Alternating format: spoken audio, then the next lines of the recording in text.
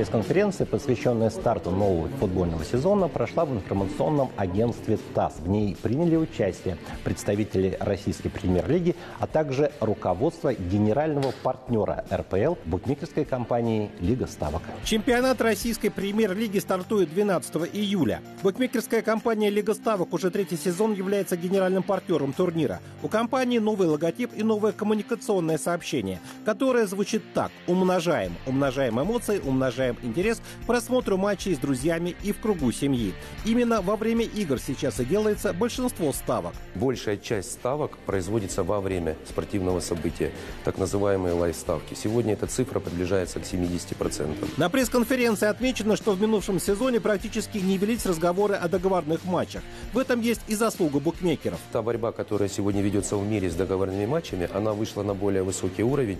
Если раньше FIFA, УЕФА и Международные федерации использовали систему раннего предупреждения, которая собирала данные у букмекеров и видела отклонения от стандартных мировых котировок, и это было все до матча. Сегодня основная система, на которой основывается FIFA, УЕФА, Международный Олимпийский комитет, Федерация лиги, это Fraud Detection System. Это система, которая мониторит и собирает данные во время спортивных событий.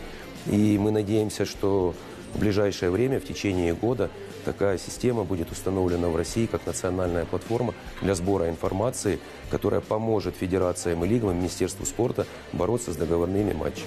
По статистике Лиги ставок РПЛ занимает первое место по количеству ставок, обороту и числу клиентов, делающих ставки на матчи топ-5 чемпионатов. Росту интереса способствовал прошедший чемпионат мира. Что касается чемпионата мира, который прошел в России, он дал невероятный толчок именно в российской премьер-лиге, потому что в этом году, в прошедшем сезоне, мы увидели, что российская премьер-лига была популярнее, и оборот ставок, и количество ставок превысил английскую лигу на 53%, испанскую премьер-лигу на 78% и на 98,8% превысил германский чемпионат по футболу. Как ни странно, наибольший выгодоприобретатель э, – это российский клубный чемпионат. Генеральный партнер РПЛ принимал участие и в разработке инновационного календаря, при составлении которого учитывались десятки аспектов. Новый календарь практически исключает переносы матчей. Главным фаворитом предстоящего сезона, по мнению букмекеров, является «Зенит», на победу которого установлен начальный коэффициент 1,83.